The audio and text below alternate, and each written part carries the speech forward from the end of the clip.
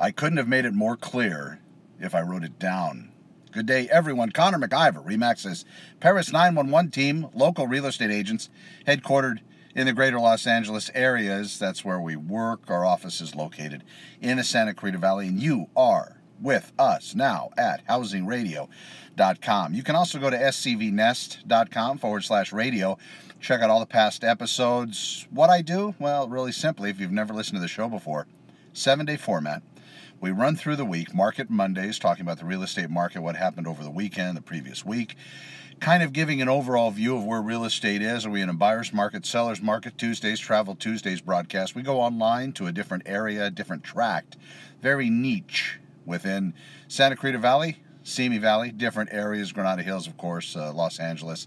We do pick a particular area and we just extract all of the great information from it, everything we can find, typically using online resources, but most more importantly, secure systems like scvnest.com, scvnest.com. Then we have our Hump Day foreclosures broadcast on Wednesdays. We have our Truth in Lending Thursdays. We talk about loans and lending on that day. And we're not lenders, however, it's important that you are getting a good deal. And sometimes, historically, it's kind of been understood that lenders could potentially maybe charge more than they should with regard to loans. Same thing with real estate agents. That's where we unveil everything and we show that withered man behind the curtain with the dog that revealed him to Dorothy in the Wizard of You Know What. All right, so that was that's Thursday's broadcast. Friday, which is today, Friday finale, we're going to get into what's gone on this week, what I've written, and some good real estate intel to assist you with anything making decisions, real estate related, and of course not from myself, but just giving you information. You make your own decisions. I'm not here to try to motivate anybody to do any particular thing. That's important that you make those decisions with those that are closest to you. Saturday, we have our Sold Saturdays broadcast, and of course, Sunday, Open House Sundays, covering what to look for, where to find those open houses, like at SantaClaritaOpenHouses.com, and you'll be able to see every single house being held open. Typically, best time to visit that system, which uh, corresponds to our SCVNest.com system, is going to be within a couple days prior to. Sometimes the real estate agents do not get that information updated until the day of. So if you plan to embark and go check out some open houses on Sunday, for example, most of them start at noon, so that's FYI. You can plug yourself into SantaClaritaOpenHouses.com maybe a couple hours prior to. When you go to the open houses just for intel, my my suggestion is don't give up too much personal information unless you are looking for that agent. You walk in there and you're not working with our team, and you walk into that open house. You're like, oh my God, this is the one. This is that agent. They'd give up everything. Tell them who you are. Give them your email address. Whole nine yards anything less than that, that kind of feeling, I I'd be more prudent. Same thing with new housing.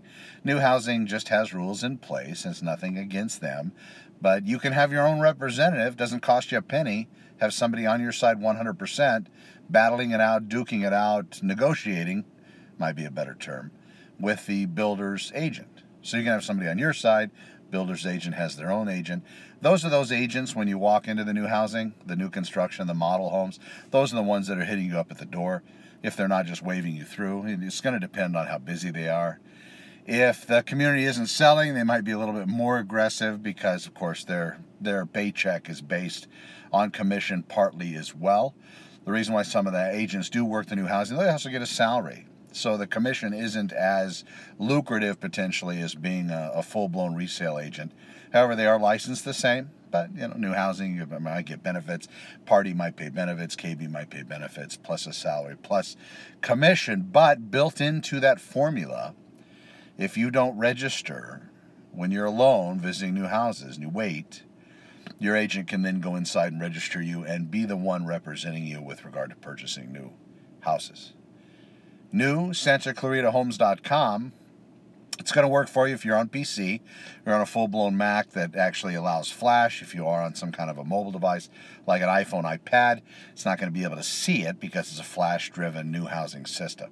New santa SantaClaritaHomes.com, so that's a good resource. All right, Friday finale broadcast. Welcome. You know what I didn't do? I didn't pull up the show number. We should be 203. I'll tell you in five seconds. I have this cool little app. What day of the year is it? And that's how I do my shows.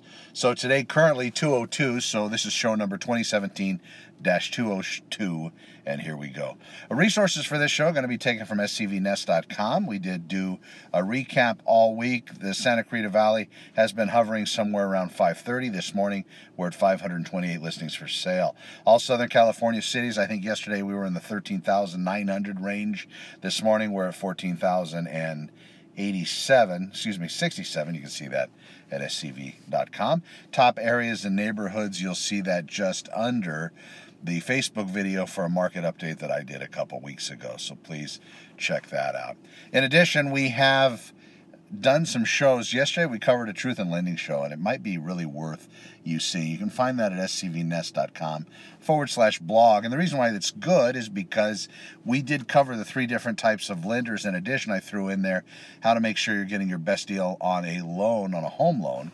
Now that's going to be if it's origination loan, like a brand new loan on a house that you've never owned before.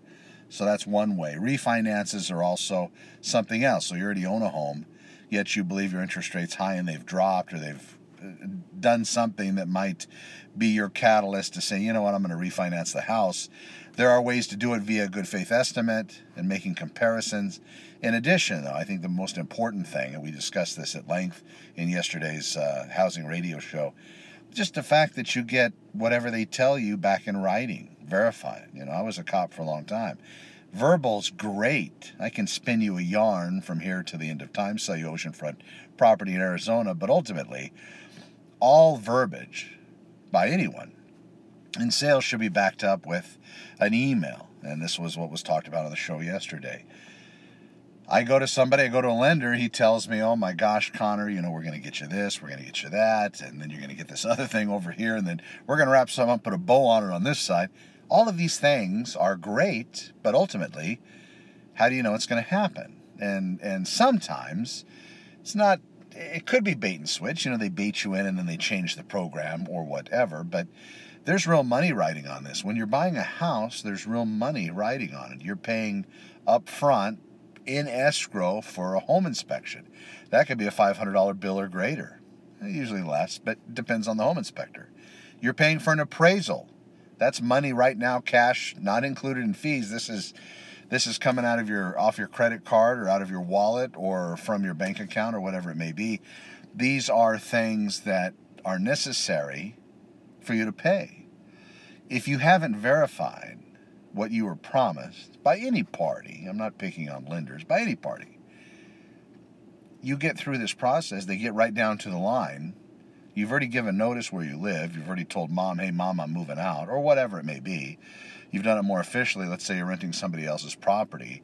You've told them, listen, I'm going to be out by, you know, uh, August 4th. Now we get to the first day of August, you get loan documents these are papers that you signed to basically concrete in your loan. All the terms, everything's been done. You've already paid over a grand in just upfront fees to pay for the home inspection and appraisal. Then all of a sudden you see on that document that you are now subject to changes in the loan program. Now you see things have been modified, have been morphed, have gotten out of alignment and you're like, you think back, well, you know, that fella promised me this particular interest rate. Well, now you're seeing that that's changed. You're seeing that there's been some kind of a modification. And maybe they notified you during the process. Maybe you're notified giving a right to review. But you know what? Life's busy, folks. That's why you have these trusted advisors, these people that are supposed to be on your team watching out for you. Something we talked about yesterday in the show. So watch out for that. And also, hump day of this last week, we talked about foreclosures. Are they still good deals? Well, of course, but it's going to depend on the market's trajectory. Which way are we going today? I'm Connor MacIvor, Friday finales. Thank you so much for tuning in. We'll have some sold Saturdays data, some of this information that we put out there. We're able to replicate. Uh, or produce the sold listings to give you a good idea. And, and remember, whenever you're out there looking at real estate, one of the things that you need to remember the property on the street that you want to buy, it could be more expensive than the ones that have sold. that could be an indicator that it's overpriced, but not all the time. If the market's trajectory is an increase every month, and they have a few months of this quote unquote increase, and they're able to see it, quantify it on paper, graph it out, and say, you know what? According to these numbers, the market's been increasing at a 3% rate per month. Well, if they're able to do that, and that property that you're looking at is 3% more expensive to a comparable property, you're going to actually be okay at that price. But it's important to look at those numbers, and any agent that you're using the good ones should be providing that kind of information prior to you writing offers as we do. Very important. I'm Connor MacIvor. Thank you so much for tuning in. Housing Radio, you can get there, scvnest.com forward slash radio, and of course, housingradio.com as well. Um, I don't know what, what's going on with the system, Housing Radio. It does have the radio player there and everything. A secure system, though, which I'm all about, and I don't have an SSL, SSL Secure Systems certificate for housingradio.com. Just go to scvnest.com forward slash radio. You'll see all the shows there. It's fantabulous. If you want to check out our blog, scvnest.com forward slash blog. You'll see all the information. In fact, on the blog page, you'll see the radio player over on the right. If you're on a mobile device, just FYI, you can click on listen in browser, so listen to it here. You can also click on play on SoundCloud, so you'll be taken to our podcast site and our radio station if you want to see the past shows and shows and listen to other things. I'm Connor MacIvor. Have a fantastic weekend. We will talk to you soon. Happy Friday. And if you need us, we're working all weekend, folks, as always. Reach out to us on the system. You'll find us all over the place. M A C I V O R, Connor with Honor. Have a fantastic weekend. Over and out.